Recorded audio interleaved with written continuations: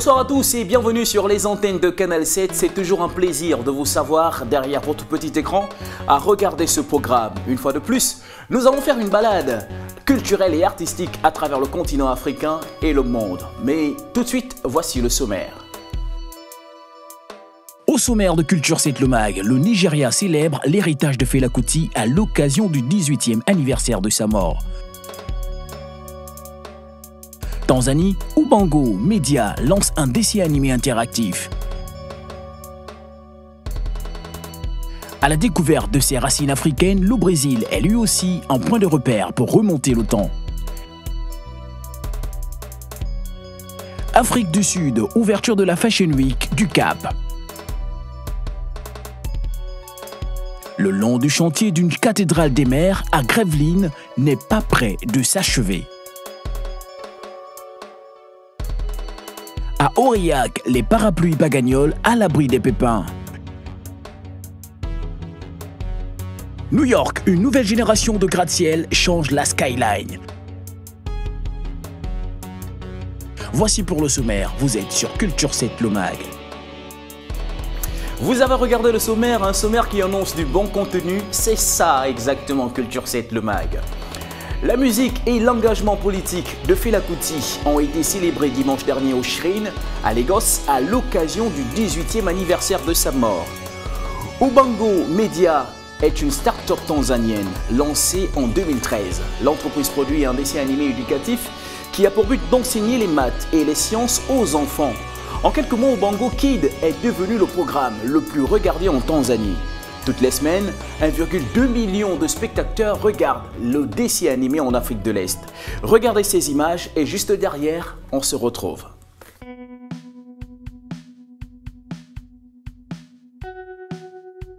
Considéré comme l'inventeur de l'afrobeat, fusion des éléments afro-américains du funk, du jazz, de la musique d'Afrique occidentale, de la musique traditionnelle nigérienne et des rythmes yoruba, Fela Kuti est désormais une icône à travers le continent africain et le monde n'en finit pas de lui offrir des honneurs. La musique et l'engagement politique de Fela Kuti ont été célébrés dimanche dernier au Shrine à Lagos à l'occasion du 18e anniversaire de sa mort.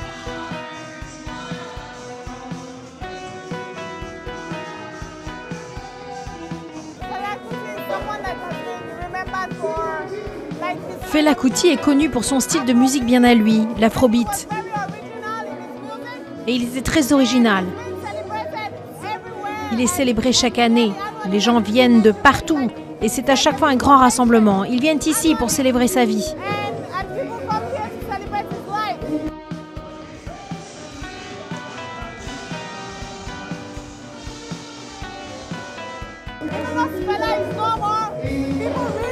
Si Fela est mort, les gens aiment lui rendre hommage comme s'il était encore vivant pour fêter sa musique. Son ouverture d'esprit, son honnêteté et son style de musique. On le célèbre toujours. Si l'histoire retient encore le nom de Fela Kuti, c'est qu'il aura marqué le temps et les esprits sur une musique qui subsiste jusqu'à présent.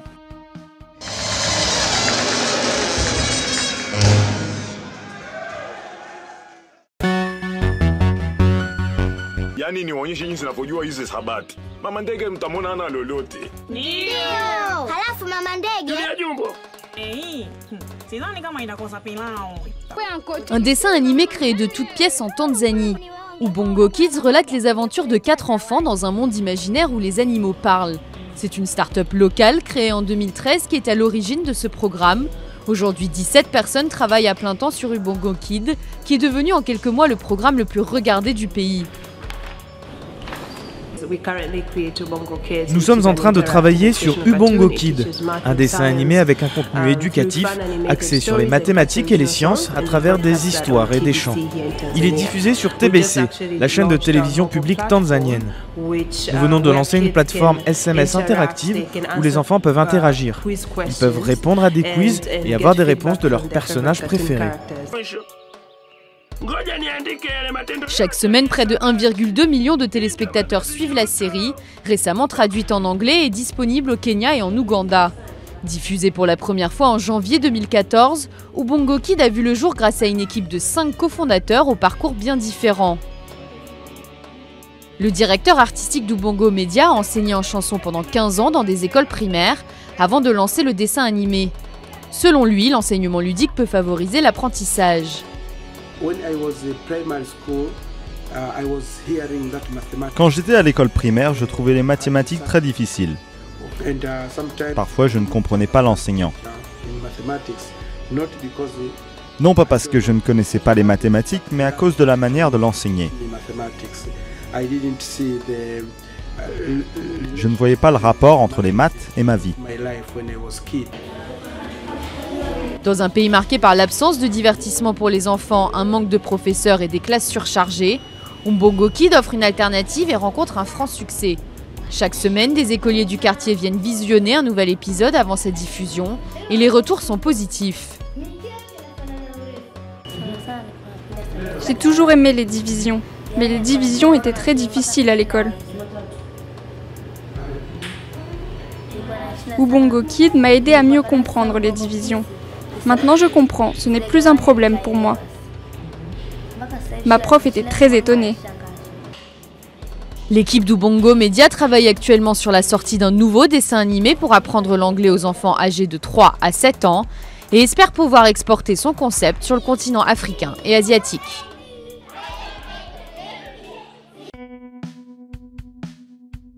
Après la Tanzanie et le Nigeria, au Brésil, plus de la moitié de la population est noire ou métissée. Pour les descendants d'esclaves, il est souvent difficile de savoir quelles sont ses origines. Les créateurs de mode du continent africain se retrouvent au Cap, en Afrique du Sud, pour la Fashion Week. Donc, allons-y au Cap, en Afrique du Sud, et bien sûr au Brésil, regardez ces images. Fashion Week du Cap en Afrique du Sud. Véritable tremplin qui donne l'opportunité à de nombreux artistes, stylistes, modélistes de vendre leur talent africain sur une seule et unique scène, mais surtout de présenter une nouvelle garde de jeunes talents qui ont choisi de s'exprimer au pays de Mandela.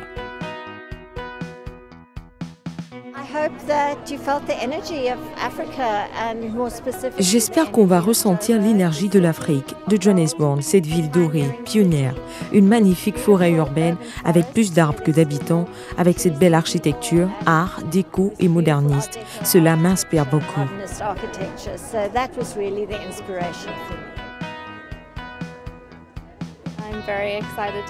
Je suis très heureuse d'être ici. Je m'inspire de nos créateurs locaux ici en Afrique du Sud et j'ai hâte de voir ce qu'ils vont présenter. Là, c'est le défilé Marianne Fassler et j'ai hâte de voir quel motif elle a choisi. Une semaine de la mode qui offre beaucoup de générosité sur une variété de collections chic design, allant de la haute couture au prêt-à-porter, sur du tissu léger, du pur pagne africain et bien d'autres matériaux et accessoires qui donnent de la couleur et de la beauté au modèle. On se concentre toujours sur des pièces classiques, intemporelles, qui ne vieillissent pas. On a beaucoup de détails, de la soie, du satin, des matériaux naturels.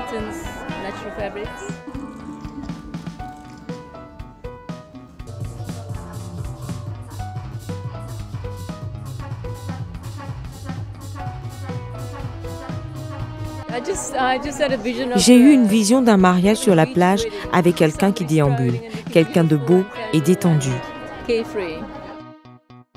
On rebondit sur le texte. Une semaine de la mode débutée vendredi dernier, souhaitons que l'événement révèle encore plus de créativité chez nos artistes.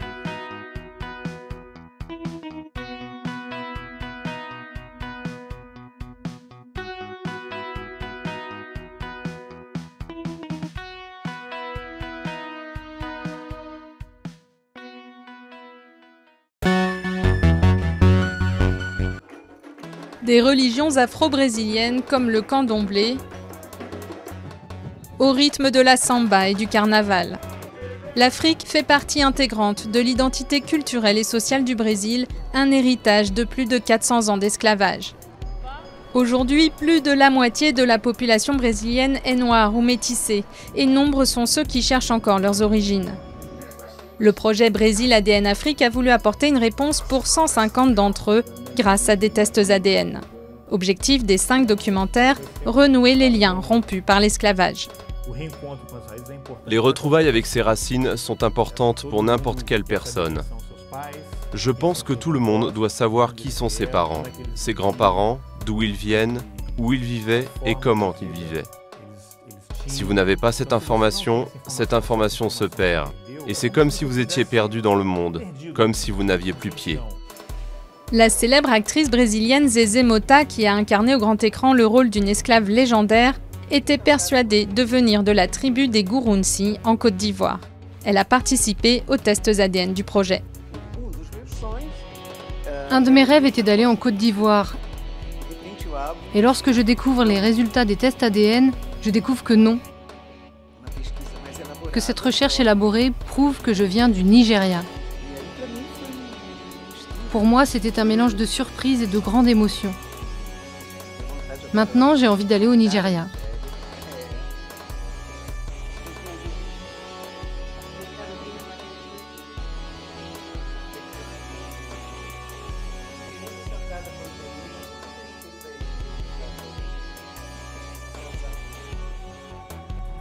Le Brésil, avec 5 millions d'esclaves, a concentré à lui seul la moitié de tous les Africains envoyés outre-Atlantique. C'est aussi le dernier pays des Amériques à abolir l'esclavage avant de détruire tous les registres d'esclaves et de taire une page honteuse de l'histoire, privant ainsi toute une génération la possibilité de connaître ses origines.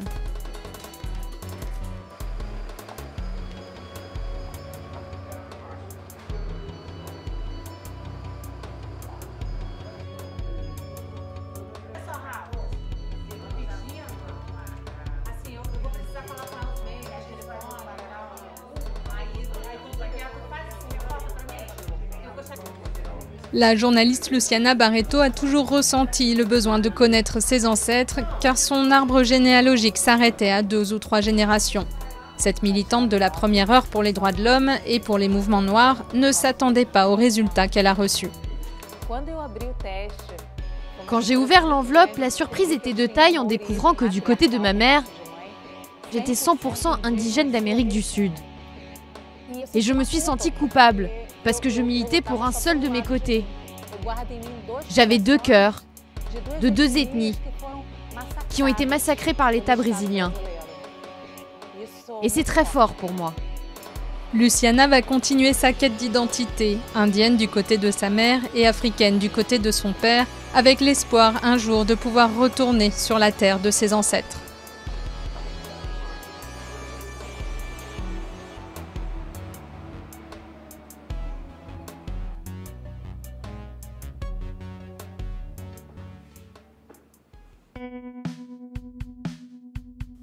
À Gravelines, près de Dunkerque, l'histoire un peu folle d'un géologue qui s'est mis en tête de construire un vaisseau du XVIIe siècle à l'identique, le chantier dure plus de 20 ans et n'est pas encore prêt de se terminer.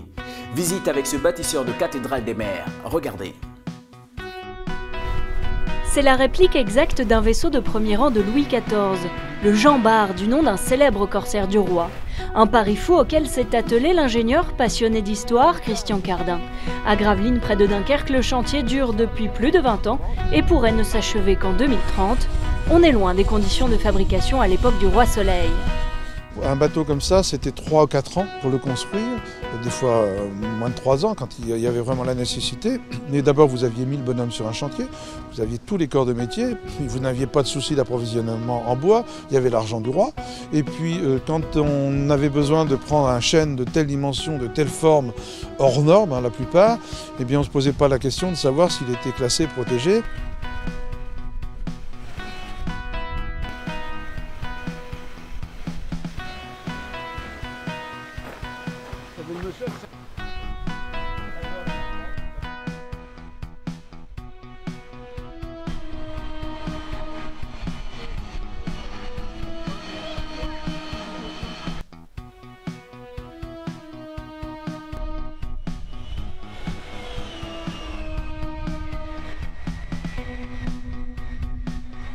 3600 chaînes au moins seront nécessaires pour cette cathédrale des mers de 57 mètres de long et 12 de haut.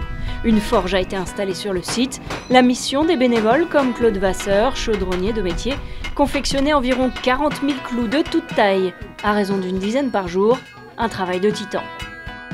Quand on remet une varangue en place, on est content de voir que ces clous qui rentrent dedans, encore, bon, ils sont bien rentrés, euh, on a bien travaillé, mais on a tâtonné quand même pendant des mois pour avoir une tête qui correspondait bien dans le milieu, parce que plus ou moins, si on tape un peu de travers, la tête part sur le côté et ça va vite. Depuis la création de l'association en 92, une centaine de personnes, salariés, bénévoles, compagnons, participent au projet. Il n'est financé que par le mécénat. Et Christian Cardin a pensé à tout depuis la vocation sociale avec le chantier d'insertion. Le Jean Bar doit devenir à terme une attraction touristique. Il imagine déjà ici, sur un plan d'eau, la reconstitution en son et lumière de belles batailles historiques.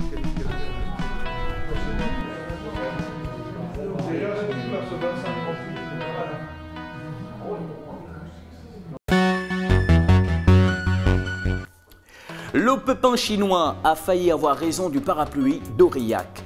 Installé au pied des monts du Xantal, l'entreprise familiale Pagagnol s'est relancée en misant sur la mode et un savoir-faire centenaire qu'une indication géographique protégée mettra bientôt à l'abri. Toujours plus haut, toujours plus mince, une nouvelle génération de gratte-ciel résidentiels est en train de pousser à New York. Certains plus hauts que l'Empire State Building, modifiant chaque jour un peu plus la skyline la plus célèbre du monde. Regardez ces images, Culture 7 se poursuit. C'est un parapluie fabriqué avec le même savoir-faire depuis plus de 130 ans. C'est aussi l'un des emblèmes d'Aurillac, longtemps capitale de cet accessoire incontournable des jours pluvieux. Tous les composants sont assemblés à la main chez nous. Donc, les brins, c'est une espèce de bois qui est très dur à trouver aujourd'hui parce que ça vient d'Asie. C'est la, seule sourcing qui existe.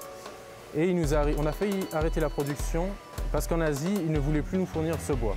Donc on a réussi à retrouver une filière, mais c'est un parapluie où en fait c'est le brin qui va dire si on peut encore le produire ou pas.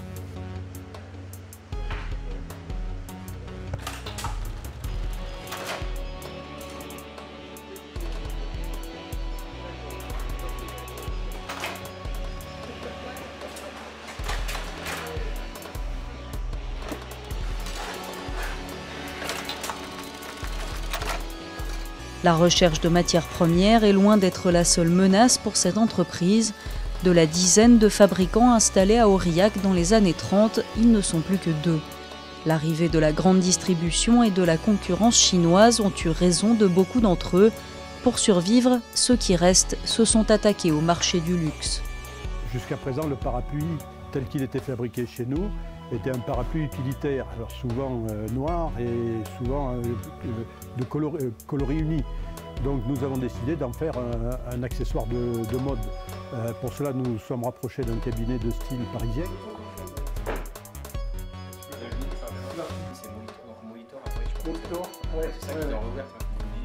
Ils vous donnent l'inspiration, des tissus, eux ils vous proposent ça en d'information. Donc moi c'est la j'ai vraiment aussi avec ça. Virage réussi, deux stylistes s'occupent désormais d'imaginer deux collections par an, soit près de 400 modèles différents. Une créativité qui n'échappe pas à la contrefaçon et pour lutter contre, l'entreprise espère pouvoir compter sur une indication géographique protégée, un label récemment étendu aux produits manufacturés. L'IGP va nous permettre de lutter euh, par armes égales, mais au moins en groupe face euh, à la concurrence puisqu'on sera tous dans le même statut légal et le même cadre, euh, toutes nos actions pourraient être portées euh, au niveau national et international par ce cadre légal qu'est l'IGP. Et on sera beaucoup plus fort, plus on sera nombreux à avoir une IGP et plus on sera fort dans notre défense.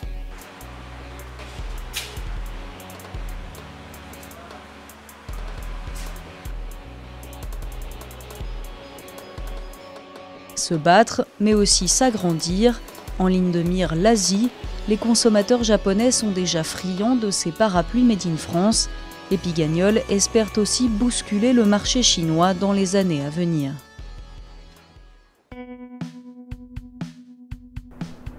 Une vue imprenable sur Central Park pour un prix tout aussi spectaculaire. One 57 est l'un des tout derniers gratte-ciel de New York. Pour s'y offrir cet appartement, il faut débourser 35 millions de dollars. Bienvenue à 157 West 57th Street, appartement 54B. Quand on arrive dans l'entrée, on a tout de suite cette vue magnifique sur Central Park. C'est ce que vous remarquez tout de suite. La vue ici est incroyable. un panorama visible aux quatre coins de l'appartement, une surface qui s'étale sur un étage entier, de quoi vivre dans le grand luxe. L'immeuble est équipé d'une piscine et d'une salle de cinéma, mais les propriétaires des lieux, des investisseurs, n'ont jamais vécu ici.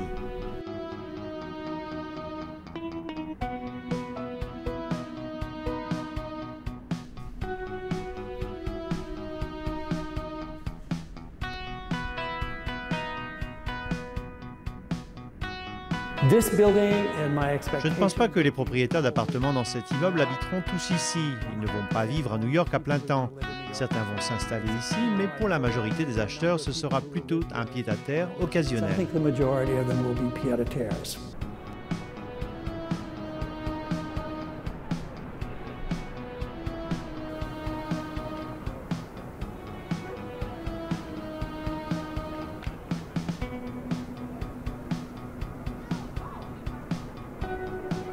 Cet immeuble ultra fin et luxueux fait partie d'une nouvelle génération de gratte-ciel à Manhattan. Une dizaine de chantiers pharaoniques sont en projet dans le quartier de Midtown. Pour construire toujours plus haut, car c'est la loi à New York, les promoteurs ont dû convaincre les immeubles voisins de céder leurs droits à de l'espace de construction verticale. Mais malgré des coûts exorbitants, ces projets restent rentables. Les coûts de construction sont très élevés, mais ce type de tour est viable depuis que les prix à New York ont atteint plus de 30 000 dollars le mètre carré.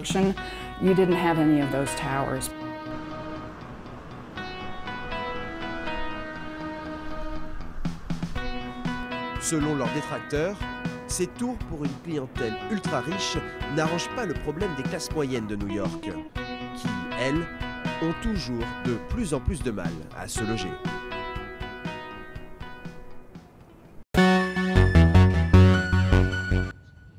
Toucher quand on ne peut pas voir, a priori impossible dans un musée. Pourtant, au prestigieux Prado de Madrid, c'est bien avec les mains que José Pedro, aveugle, découvre la forge de Vulcain de Velázquez avec l'aide d'un audioguide.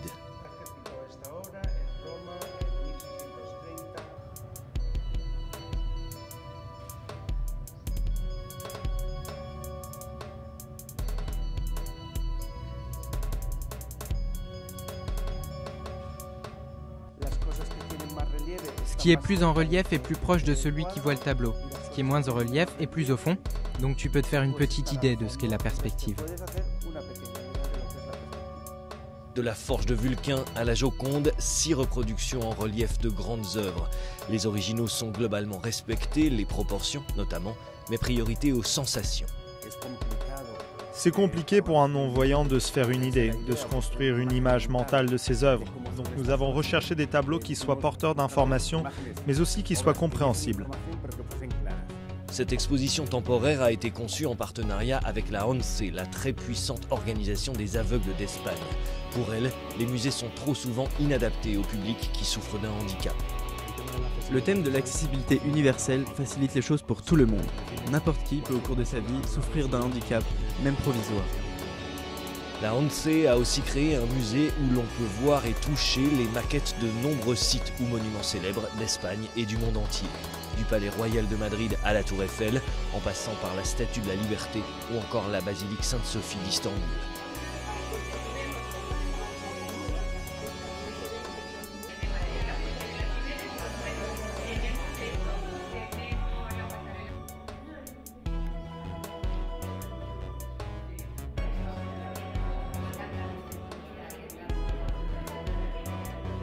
Toucher encore, mais cette fois des étoffes, des tissus, des vêtements de toutes les époques.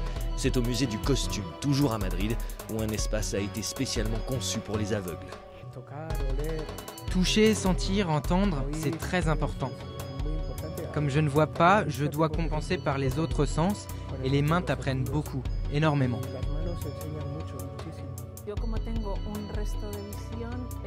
Moi, comme il me reste un peu de vision, de toucher les costumes, ça t'apporte autre chose. Ça te fait imaginer leur mode de vie. Et pour aller encore plus loin dans la découverte, il est même possible d'essayer un jupon, une collerette, un corset, pour laisser son imagination plonger dans l'ambiance d'une cour royale.